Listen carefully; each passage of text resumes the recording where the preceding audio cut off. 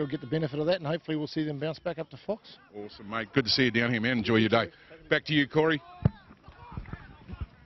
Thank you, Troy, and great to hear from Chock there. Get his insight on how things are going. Of course, Chock's young fella playing in the Mount Albert team, the number two, Mitchell Gimmel. We've seen him in action with uh, Westlake Boys High School in the uh, College Rugby League competition over the last few years. As Mount Albert now, first use of the ball, work at Ford. As Corey said earlier, you know, these two clubs have had a lot of rivalry over the last few years with um, being in grand finals at the SAS Fox. And uh, here we get to see them go around. Oh, he's managed to hold on to the ball there inside the tackle, just about fumbled. And looking for a quick play the ball. And again, the uh, energy levels here, Corey, are up once again. A lot of communication on the field by both sides as a little chip's been put through the uh, defence line. Yeah, two very well coached teams here. Of course, they've been near the top of the Fox Memorial competition for the last four or five years as Sol Solomona carries it forward. Hands off towards the middle of the park, and lots of stars on display in the Point Chev team as well. Got Arden McCarthy, who's played a little bit uh, with the Warriors in the New South Wales Cup competition. He's also represented Samoa. Of course, former Kiwi international Tavita Latu wearing the number one jersey at dummy half. And Siwa Tanuku as well, who uh, has been among the top try scorers in the Auckland Club competition for the last few years. One of the best players running around. So great to see some stars on display here at Stanmore Bay. Mount Albert not short on star power themselves either. So this promises to be a good one as we wait for the game to sort of open up a little bit over the next few minutes.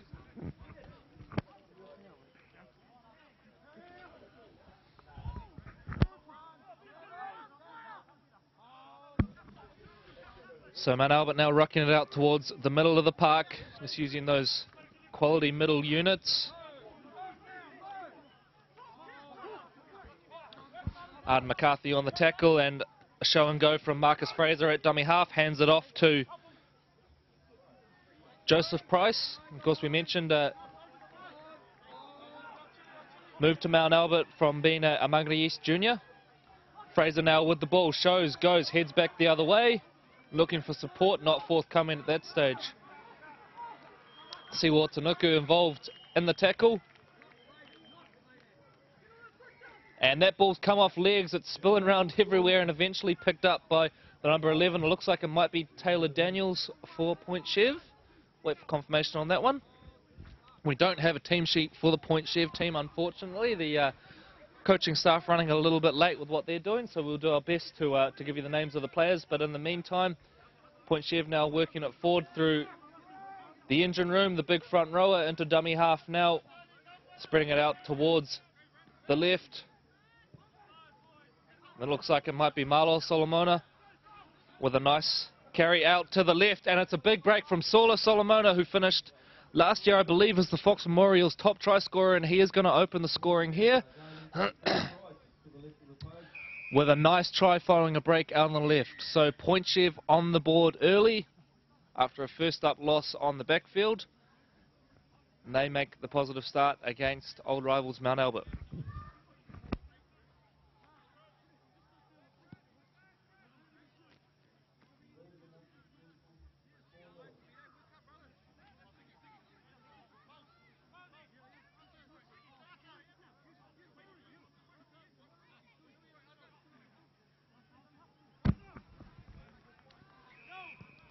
And back underway here between Point Chev and Mount Albert.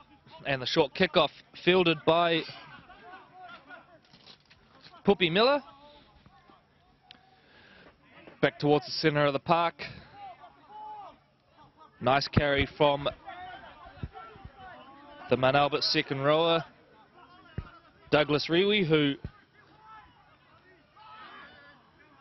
I believe we saw playing for Papakura last year my memory serves me correctly.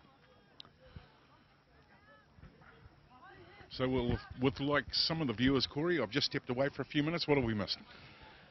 Yeah, well, Point Chev have uh, drawn first blood. A nice break from Sola Solomona out on the left, just guessed as uh, markers. And of course, anyone who's watched the Fox Memorial coverage over the last few years will know that Sola is a noted try scorer. Another one that's played at high levels as Point Chev now break out towards the right. And it's a nice break out on the wing and he hands it back inside to Siwa Otanuku and Siwa Otanuku doubles the advantage. Four point Chev, 8 0 to Ortex. And as Preston Ricky with some nice play, I believe a Mount Albert a grammar graduate. We saw him in action for the college rugby league competition a few years ago. And some nice play from Ricky out wide and finds Otanuku in support. So, Troy, I think the uh, from memory, and as the conversion hits the upright, so the score will remain 8 0. From memory, Ortex lost their first game on the backfield uh, over the back Correct, there. did, so yep. uh, this is a, a good turnaround from them after going down to, I think it was Hibiscus Coast in their opener. So some nice play from Ortex, perhaps uh, coming up against Mount Albert, bringing out the best in the boys so far. Mount Albert looking a little shell-shocked. And maybe lucky to get away with that one. Looked like it might have been a forward pass or a knock-on. But Mount Albert will work it off their line anyway. So Hibiscus Coast holding their own. They're a Sharman Cup team and um, they're in a pool that includes the Point Chevalier Ortex team along with the Mount Albert Lions and of course the Otahuhu Leopards. So they're boxing above their weight I would have said in that um, first game against the Ortex side and um, you know they've uh, certainly managed to get a, uh, a scalp there I would suggest as um, Point Chevalier are trying to um, maintain their uh, pressure on Mount Albert. Be a loose ball there, and it is ruled a strip. I think Alan McCarthy, the man in on the tackle.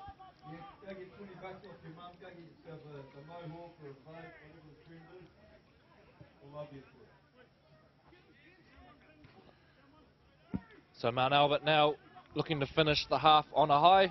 They start the set from about 45 metres off their own line. And a big- Ricochet. the big juggle, it spilled out in the end. And it was the number eight, Tony Ulupau, who uh, coughed the ball up there.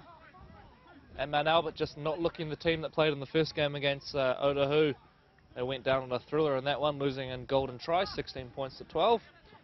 But really struggling to find their feet in this game so far as Arden McCarthy carries forward. And that is a clean drop from Arden. He seemed to think there may have been a strip in there, but the referee not forthcoming with that one. So Mount Albert